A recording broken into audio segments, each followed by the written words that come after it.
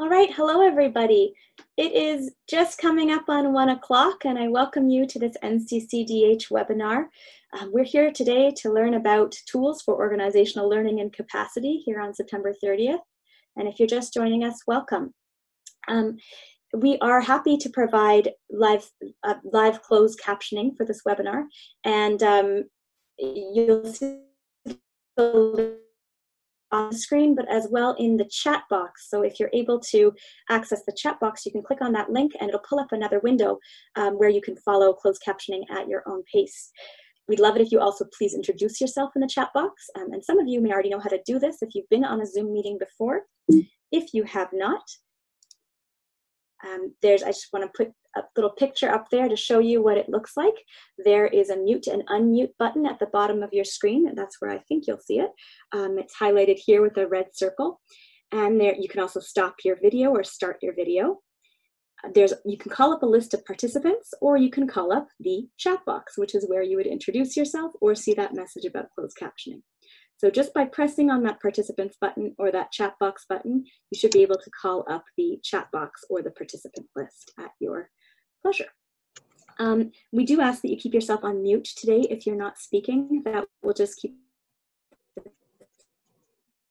So thanks so much for, for doing that. And um, as you're introducing yourself in the chat box, it would be great to hear where you work, where you're calling in from, where you're joining us from rather on Zoom, and if you're joining with a group of colleagues today or just on your own. So uh, thanks so much for, for sharing that. My name is Pemma, and I'd like to start today by acknowledging first that the NCCDH is located in Mi'kma'ki, the ancestral and unceded uh, territory of the Mi'kmaq people. And I am actually speaking to you from Toronto, which is the traditional territory of the Wendat, the Anishinaabeg, the Haudenosaunee, Métis, and the Mississaugas of the New Credit First Nation. You may also be aware and see uh, that people are, are, wearing these shirts as they call in, um, that today is Orange Shirt Day, and it's an annual day to honor and remember the survivors of Canada's residential school system and their families. And remember also that every child matters, and that's really the slogan of Orange Shirt Day.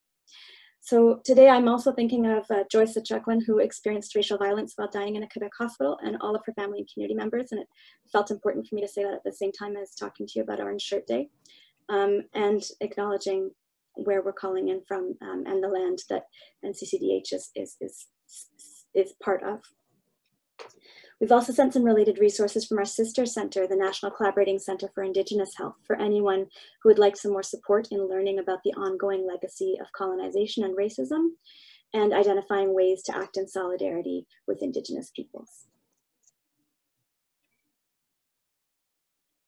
I, of course, want to acknowledge the other members of my team who you'll also see here in various different shades of orange um, online. And those are Claire, Sume, Dianne, Lesley, and Danielle. And they've all played a big role in making this webinar happen today. So thank you so much for all of your various different roles and support. Um, Claire, Sume, Dianne, and Lesley will be facilitating some breakout groups later in this webinar if, if all goes to plan. Um, and we'll have, you'll have a chat, chance to speak with them on a more um, small group level, depending on which breakout room you join. If this is your first time joining um, a National Collaborating Center webinar or an NCCDH webinar specifically, you'll be interested to know two things. The first is that the NCCDH supports public health practitioners and organizations to address the social determinants of health and advance health equity. And the second is that the NCCDH is part of a group of organizations called the National Collaborating Centers for Public Health, or the NCCs for short.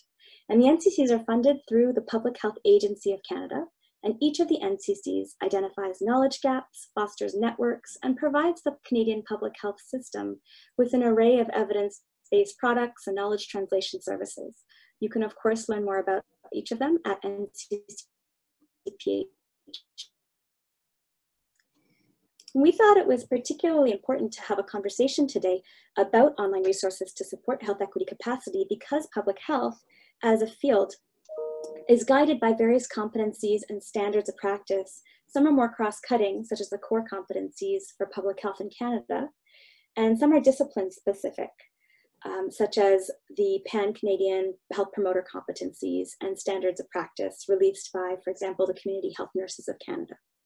Each of these examples, whether in detailing core values or in detailing standards, really emphasizes equity and social justice. And so that's why we've, we've provided them as examples here.